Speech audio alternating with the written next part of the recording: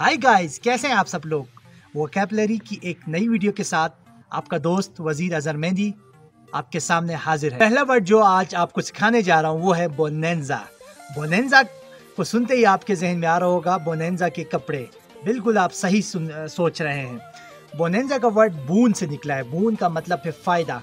एक Latin word है तो बोनेंजा एक पॉजिटिव वर्ड है, जिसका मतलब है बहुत ज़्यादा फ़ायदा होना, आपको अचानक बहुत सारे पैसे आ जाना विंड फॉल भी इसको कहते हैं। तो इसको बून से भी याद रख सकते हैं या बोनेंजा कंपनी याद रखें, उनके कपड़े बड़े अच्छे होते हैं। दूसरा वर्ड जो है, वो है प्रोडिजी प्रोडिजी को याद रखें प्राउड जी। प्राउड का मतलब है आपको उसको फखर है प्राउड जी किस पे होगा, जो बड़ा टैलेंटेड होगा। या इस तरह याद रख सकते हैं। ये दूसरा ट्रिक है प्राउडिजी का प्रो यानी उसके हक में होना डिक डिक से याद रखें, यानी जो खोदने के हक में होना या मेहनती लड़का, जो मेहनती होगा, वो टैलेंटेड होगा। तो प्रोडिजी का मतलब है, ऐसा लड़का या लड़के के लिए स्पेशली यूज़ होता है, लेकिन शख्स के लिए भी यूज़ कर सकते हैं जो बड़ा टैलेंटेड हो।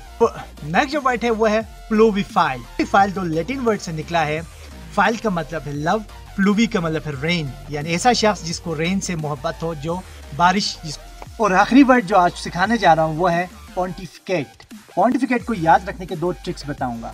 तो पहले इसको याद रखें रिकी पॉन्टिंग से, जो ऑस्ट्रेलिया के कैप्टन थे तो जो बड़े हट दरम थे, ठीक हो गए थोड़ा पॉम्पस भी थे तो इसका मतलब ऐसा शख्स जो किसी पॉम्पस मैनर में या मगरूर या कोई हट दरमी में अपने व्यूज़ को शो करे, या फिर इसको आप पॉन्टिफ से भी याद रख सकते हैं। पॉन्टिफ होता है पादरी किसी भी चर्च का तो वो थोड़े पॉम्पस वे में या डॉगमेटिक वे में अपने व्यूज़ को एक्सप्रेस करता है।